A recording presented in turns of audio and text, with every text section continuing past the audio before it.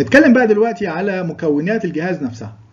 basically إحنا فهمنا ان إحنا عندنا two processes لازم يحصلوا ال process بتاعت ال diffusion وال process بتاعت ال ultrafiltration واحدة فيهم بتشيل الأملاح واحدة فيهم بتشيل المية. عشان نعمل الكلام ده إحنا محتاجين إن إحنا يبقى في عندنا محلول بنسميه dialysate يبقى موجود قصاد المية قصاد الدم في في ناحية من في كل واحد فيهم في ناحية من من نواحي فلتر معين أو membrane معين موجود بشكل يعني يسمح إن يحصل exchange بين الاثنين فبيبقى في عندنا practically في أي جهاز hemodialysis في عندنا جزئين منفصلين تماما. الجزء الأول هو بنسميه dialysate circuit مهمتها إن هي تكون ال dialysate من يعني بتركيز معين وتخليه بعد كده safely in contact مع الدم من خلال حاجة بنسميها ال dialyzer ال dialyzer ده هو ده الفلتر هو ده الحاجة اللي إحنا بنحط فيها الدم في, في ناحية ونحط فيها ال dialysate في الناحية الثانية الجزء الثاني هو بنسميه ال blood circuit هي اللي بتاخد الدم من ال patient وتمشيه في ال dialyzer عشان يبقى in contact مع ال dialysate بشكل safe برضه وفي الآخر ترجعه برضه بشكل آمن لل patient فاحنا هنحاول بقى نتكلم دلوقتي على المكونات بتاعة الجهاز واحد واحد عشان نفهم إيه اللي بيحصل بالظبط. فنتكلم generally كده إيه اللي بيحصل وبعد كده نتكلم على بعض التفاصيل عن عن كل مكون لوحده. ففي الأول خالص طبعا إحنا لما نيجي نحط أي حاجة in contact مع الدم لازم نتأكد إن تركيزها هو مش مختلف كتير عن تركيز الدم من ناحية المواد المهمة اللي موجودة في الدم. على سبيل المثال عندنا الدم في مجموعة أملاح تركيزها بيؤثر كتير جدا على جميع وظائف الجسم. يعني مثلا تركيز الصوديوم البوتاسيوم الكلورين البايكربونات الحاجات دي كلها يعني مهم جدا جدا جدا إن يكون نفس التركيز اللي موجود عندنا في الدم ما يتغيرش في أثناء عملية ال hemodialysis لو اتغير تركيز أي واحدة من الأملاح دي بتبقى في غاية الخطورة. على سبيل المثال لو إحنا بنتكلم على مثلا حركة عضلة القلب أو أي عضلة عموما كنا بنسمع عن حاجة اسمها ال sodium potassium pump ال sodium potassium pump دي هي اللي بتعمل لنا physiologically بتعمل لنا حركة العضلات بتتم عن طريق exchange of ions between ال extracellular وال intracellular compartments بتاعت العضلة.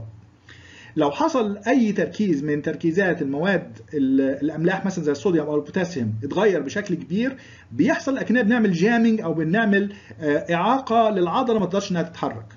وطبعا لو إحنا فكرنا إن إحنا عندنا أهم عضلة في الجسم اللي هي عضلة القلب لو إحنا غيرنا التركيز ده بحيث عضلة القلب ما قدرتش تشتغل يبقى إحنا كده practically عملنا حاجة في يعني condition يبقى vital بالنسبة لل patient فمهم جدا إن إحنا لما نحط concentration لل dialysate لازم نتأكد إن تركيز ال dialysate هو نفسه تركيز الدم من حيث المواد الأساسية اللي زي الصوديوم والبوتاسيوم والكلورين والبايكربونات على الأقل كل الأملاح اللي هي الأساسية في الجسم تبقى نفس التركيز بحيث ما يحصلش exchange between الدم و between ال dialysate بالنسبة للأملاح دي بحيث ما غيرش تركيزها في الدم. فبالتالي إحنا بنحاول نكون نعمل composition لل dialysate بحيث يكون في الأملاح دي. الحقيقة بيتعمل بشكل يعني مميز جدا في ال hemodialysis إن هو بياخد concentrates بيبقى في عندنا حاجة اسمها acid concentrate بيبقى فيها البايكربونات mainly وبيبقى في عندنا bicarbonate concentrate بيبقى في عندنا بايكربونات وعندنا يعني بيبقى فيها الاملاح مثلا الصوديوم والحاجات دي كلها. فبيبقى في basically ببني أنا التركيز بتاع ال dialysate بإن إحنا نعمل proportioning between concentrate يعني محلول مركز بيبقى acidic ومحلول مركز بيبقى قلوي يعني بايكربونات أكتر شوية. و basically مع المية بتركيزات مختلفة. و basically إحنا بنتأكد بعد كده إن تركيزهم سليم بيبقى في عندنا حاجة زي conductivity monitor هنا أو concentration monitor بيبقى في عندنا حاجة زي sensor كده يقدر ي sense ال concentration إذا كان سليم ولا لأ. وفي نفس الوقت طبعا إحنا عندنا أي حاجة تتحط in contact مع الدم درجة حرارتها ممكن تفرق مع الدم. يعني معروف إن الدم لو إحنا الدم طبعا فيه proteins وال proteins بطبيعتها لو إحنا غيرنا درجة الحرارة أكتر من 42 درجة مئوية مثلا هنلاقي يحصل يبتدي يحصل تغير في طبيعة البروتينات. زي مثلا لو بنتكلم مثلا زي البيضة نيجي إن إحنا نسويها بنلاقي إن إحنا لما نحط الحرارة يبتدي الجزء الزلال بتاع البيض يبتدي يتغير يبتدي لونه يبقى مختلف يبتدي يتغير طبيعته تختلف. نفس الكلام بالنسبة للدم. لو إحنا حطينا محلول درجة حرارته مرتفعة in contact مع الدم يبقى في غاية الخطورة. ممكن يأذي المريض بشكل كبير ممكن إن هو يعمل مشكلة كبيرة. فإحنا لازم نحط درجة حرارة تبقى almost نفس درجة حرارة الجسم اللي هي تقريبا 37 درجة. وفي نفس الوقت actually إحنا ممكن حد يفكر إحنا مش لازم إن إحنا نحط درجة حرارة الجسم ممكن نحطها أقل. إحنا أهم حاجة ما يكونش أكتر من 42 بس actually لما بنحط درجة حرارة أقل من 35 درجة بيحصل العكس بقى. بيحصل loss of يعني حرارة يعني حرارة بتفقد من الدم بتروح لل dialysate يعني بمعنى لو أنا درجه حرارة الدم 37 درجة ودرجه حرارة ال dialysate 30 درجة مثلا هيحصل تبريد للدم من خلال عملية ال dialysis يعني وأنا بمشي الدم in contact مع ال dialysate يبتدي الدم نفسه يبقى درجة حرارته تبقى أبرد. الحقيقة دي بتسبب حاجة condition المريض بيسميه hypothermia يعني بنسبب إن إحنا نقلل درجة الحراره الداخلية بتاعة الجسم ودي الحقيقة ما هياش حاجة كويسة. دي حاجة ممكن إن هي برضو تسبب مشاكل للمريض. فإحنا مش عايزين لا ده ولا ده. يعني لازم درجة حرارة ال dialysate تبقى مناسبة أو بنفس تقريبا درجة حرارة الجسم بحيث ما يحصلش لا فقد ولا إضافة للحرارة بتاعة الدم. طبعا إحنا بنتأكد يعني قبل ما قبل ما ال dialysate إحنا هنا عملنا سخنا المية اللي هي داخله بتبقى طبعا purified water لازم يبقى مية ما فيهاش أي أملاح خالص. طبعا لما إحنا بنسخن المية زي ما إحنا عارفين بيبتدي يبقى فيه bubbles air bubbles تبقى موجودة داخل المية. لازم يبقى في عندنا مرحلة بتاعه deaerator deaerator بيشيل الفقاعات الهواء اللي موجوده عندنا. ودي الحقيقة بتتعمل بشكل بسيط. بنعدي المية في compartment يبقى فيها جزء مفرغ من الهواء فوق يعني في حاجة زي suction أو negative pressure فوق المية. وال negative pressure ده بيخلي ال الفقاعات الهواء يبقى أفضل لها إن هي تطلع بره المية عن إنها تفضل جوه المية. فبالتالي بنتخلص منها ونقدر بعد كده نكمل في ال path بتاع ال dialysate من غير ما يكون عندنا فقاعات مية.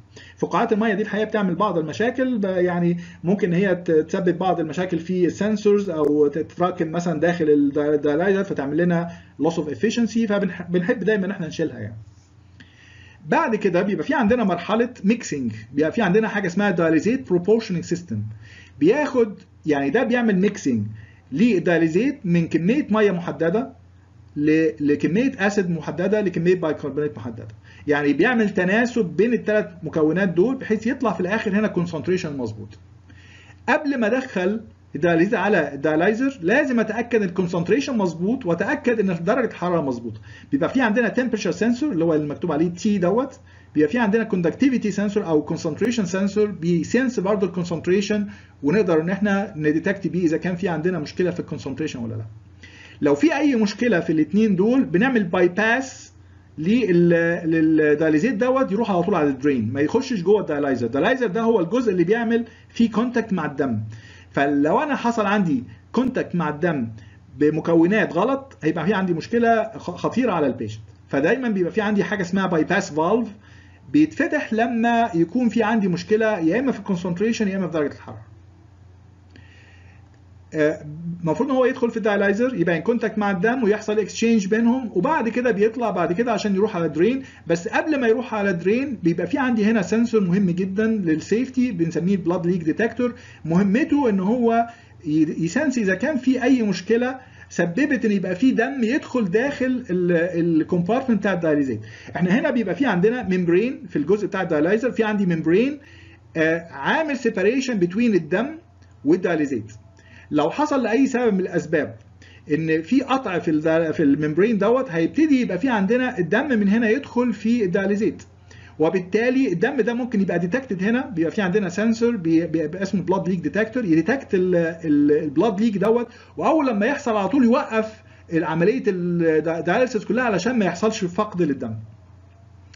الحقيقة اللي بيحصل ال operation اللي بتحصل هنا دي كلها الحقيقة طبعا لما بنتكلم على إن في هنا عندنا dialysate ماشي في ال direction ده كده لازم يبقى في عندنا pump تعمل الكلام ده.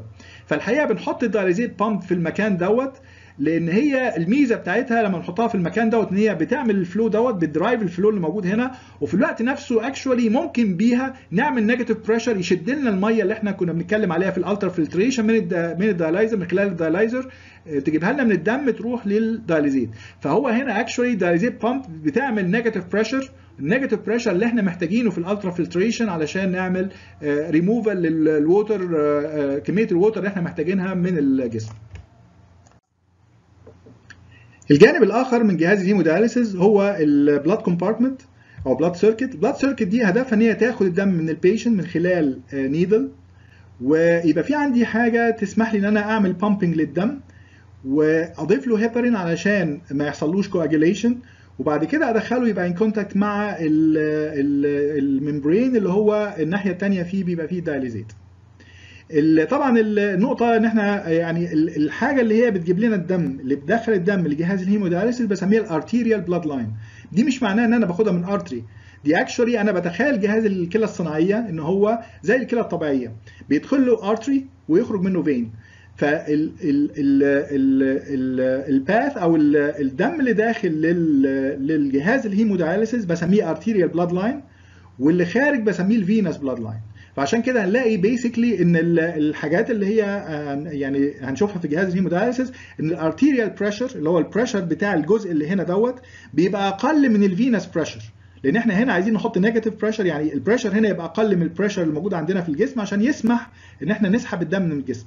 وهنا إحنا محتاجين ال pressure يبقى أعلى شوية من ال pressure الموجود عندنا في الجسم عشان يقدر يدخل الدم داخل الجسم.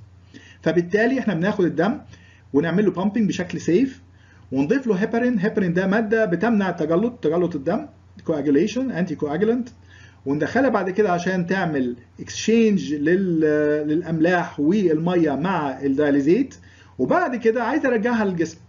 عشان أرجعها للجسم بشكل safe. لازم أتأكد إن أنا ما يبقاش فيها أي air bubbles طبعا أي fluid بيمشي يعني بيعمل flow ممكن يحصل يبتدي يتكون فيه air bubbles لو حصل عندنا إن إحنا بقى في عندنا air bubble ال size بتاعها 1 سي سي بيبقى عندي مشكلة. ممكن تعمل خطورة على حياة المريض.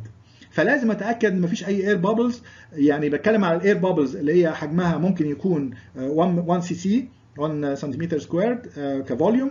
أو عندي foam foam اللي هو bubbles صغيرة جنب بعض متجمعة مع بعض ممكن يبقى الحجم بتاعها 2 سي سي في كل الأحوال لازم أمنع دول خالص إن هم يدخلوا داخل الجسم. فال air detector هنا بي detect إذا كان في air bubbles وإذا كان في air bubbles بيعمل حاجة اسمها line clamp يعني بيستعمل حاجة اسمها line clamp عشان يقفل الخط ده خالص. يقفل الجزء ده تماما علشان ما يمنع الدم إنه يدخل الجسم لغاية لما ال air ده يتم يعني سحبه بشكل ما. بيبقى في عندنا واحدة من ال safety devices اللي موجودة عندنا بيبقى في عندنا pressure sensor هنا عشان يتأكد إن الجزء دوت اللي هي ال blood circuit كلها يعني كلها pressurized يعني كلها basically ال pressure فيها مرتفع بشكل معين يعني أنا هنا بعمل pump فمعنى كده ال pressure هنا هيكون مرتفع. لو حصل أي disconnection لو طبعا الكلام ده كله بنشوفه طبعا إن هو عبارة عن tubes يعني بلاستيك tube زي ما هنشوف بعد شوية. لو حصل فيها أي disconnection حصل فيها rupture لاي سبب من الأسباب معنى كده إن الدم ده هيفقد. بس actually لو لو حصل حاجة زي كده ال pressure اللي موجود طبعا هي drop. هيحصل إن هو ي drop يبقى هو نفسه ال atmospheric pressure فمعنى كده ال pressure sensor ده يقدر ي detect لو في عندي أي مشكلة في ال integrity بتاعة ال blood circuit وطبعا لو في عندي مشكلة أي حاجة يعني حصل فيها disconnection أو أي حاجة حصل فيها exposure للدم للجو الخارجي طبعا بيبقى في غاية الخطورة علشان ممكن يحصل فقد للدم وممكن يحصل تلوث للدم من الميكروبات اللي ممكن تدخل من خلال الفتحة دي. فهم الاثنين الحقيقة بيعملوا يعني check على الدم قبل ما يرجع لل patient بحيث يتأكد إن هو داخل بشكل safe